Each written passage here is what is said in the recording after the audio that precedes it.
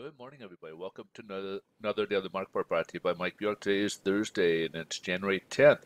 Hey, uh, kind of a quiet day today again. Uh, this week there's not a lot of uh, economic on, on the economic calendar, but today we got the weekly jobless claims that we always get every Thursday. So last week was uh, revised slightly higher from 231 to 233. Uh, forecast is supposed to be kind of in that range at 227,000. And it did drop to by 17,000 down to 216,000, which is obviously good news. So, unlike a lot of the other reports uh, that we want the higher number, uh, in this number we actually want to see the lower number. Now, this is something we're kind of keeping our eyes on because it seems like we're kind of bottoming it out on this uh, level, and usually that's kind of sign uh, when when we start seeing this rise upwards.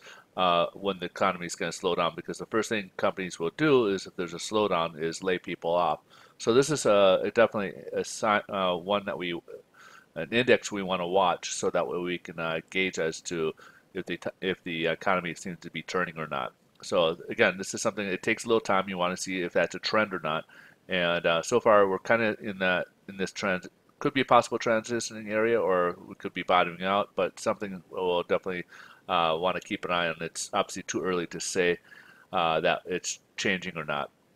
So let's go, especially after looking at those job numbers on last Friday with over 300,000 jobs there. So that was fantastic. Uh, let's kind of jump ahead here. Uh, today, actually, uh, stock market is down after about four days of uh, positive trading, or I'm sorry, positive uh, trading. Uh, stock market is all down so far today, and a lot of it's getting its um, it's taking a sentiment over from the some economic data that came out of China that was very disappointing. so that's rehashing the old sentiments regards to the overall economy that uh, on a global level where we were seeing some slowdown. We haven't quite seen it here in the U.S., but the, the concerns is that eventually it'll kind of catch up to the U.S. here. This is affecting mostly the multinational corporations that are out there that are trading in other countries, and um, so this will affect them more so uh, than you know your local companies here that are here in the U.S also on a little bit on the sentiment, they're getting a little bit restless in uh, terms of the government shutdown.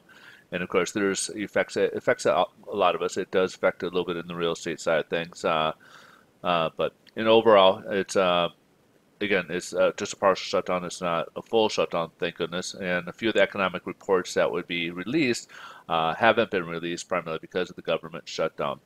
Uh, let's kind of move this forward over to the uh, bond market and see how rates are doing today. So rates are uh, basically uh, unchanged from yesterday. So as you see, we were touching this um, floor of support, which has been really strong, and it gave us a little bit of a scare yesterday. And the concern was if it fell below that and, and stayed below that, it could uh, fall further down, and that would break this trend or this upward trend we've been getting here, which we, which is the reason why we're seeing improvement in our interest rates. Uh, we've been kind of in the lower trend line here, so that's obviously very good news. Today we started a little bit higher, we're down a little bit, but we're up about two points from where we left off yesterday. So basically kind of unchanged, really not much difference.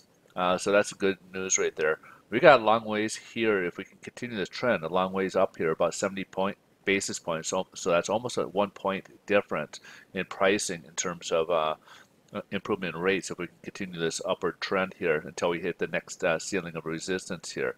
So good news right there. Uh, hope we'll definitely keep an eye on, on this. So if you guys are out there, uh, got loans in the pipeline, whether if you're refinancing or purchasing, you can, uh, if you want, you can hold. I would recommend holding right now and see uh, where this dictates if we get some more improvement.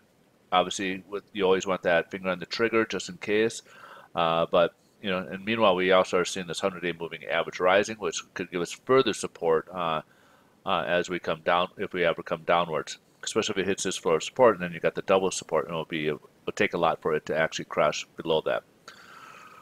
Again, here's the 10-year Treasury. Uh, the good thing about these on the stochastic uh, stochastic calendar here is um, charts, excuse me, stochastic chart, uh, is that we're we're now out of over sold position in back into this more neutral area here.